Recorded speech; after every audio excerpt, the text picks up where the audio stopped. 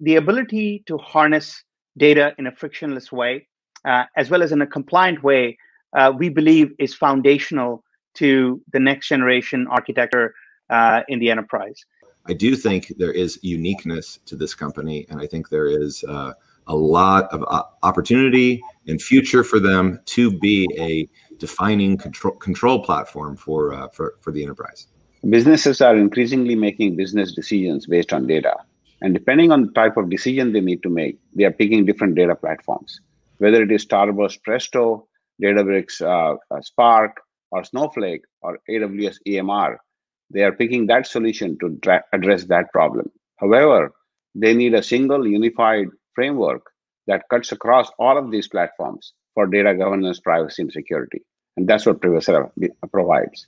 I think you're going to see uh, an explosion in, in, in data, and this layer, I think, is going to be uh, very critical, the role that Privacera plays in the architecture. It's really a data driven transformation. And so, this opportunity in data, all aspects of data, uh, is what made the market so attractive. And as you use and consume data more privacy and governance and security and control of how data is used is becoming kind of a, a society trend as well the notion of being able to use data uh, in a secure way uh, and be able to sort of uh, all the way from access to audit to compliance, being able to kind of trace the lineage of this data is one of the fundamental aspects of what we heard from customers was a requirement in their ability to harness data responsibly.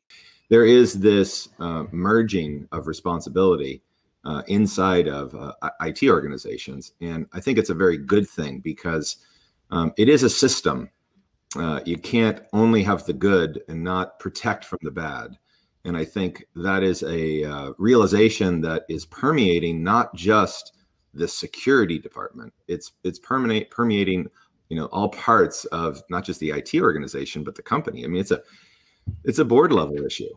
So whether it is detection, uh, mitigation, privacy, uh, governance, access control, they're all different facets of the same solution.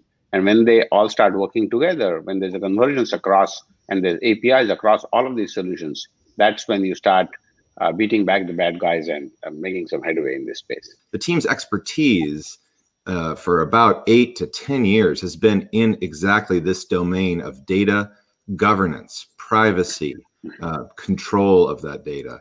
And so you had an excellent team with the right domain experience in an extremely attractive market where we see a long-term amount of uh, demand. So that's uh, that's why we invested.